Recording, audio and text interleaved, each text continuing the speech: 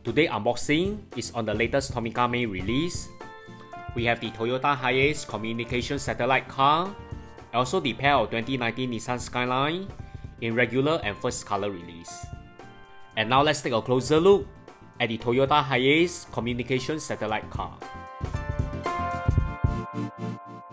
First impression is very heavy and is very realistic.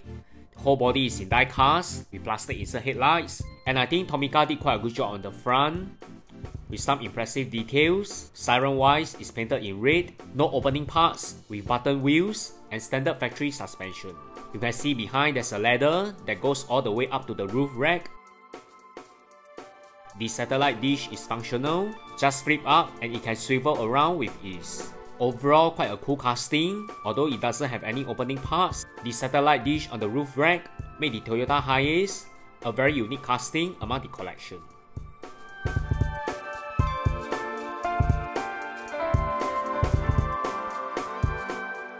Next, the 2019 Nissan Skyline. This is one of Nissan latest Skyline without the GTR badge and also a symbol of Nissan technology.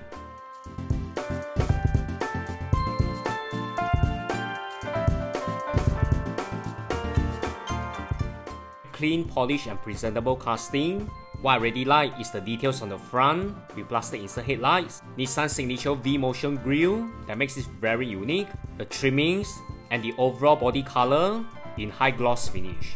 The body color in carmine red is also very close to the real deal. Painted rear lights with some basic details such as the Nissan logo, really like the proportion of this skyline in 1 is to 64.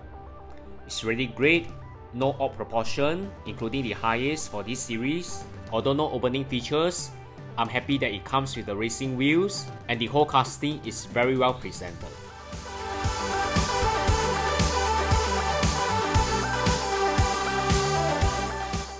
Next, the Nissan Skyline in first color release.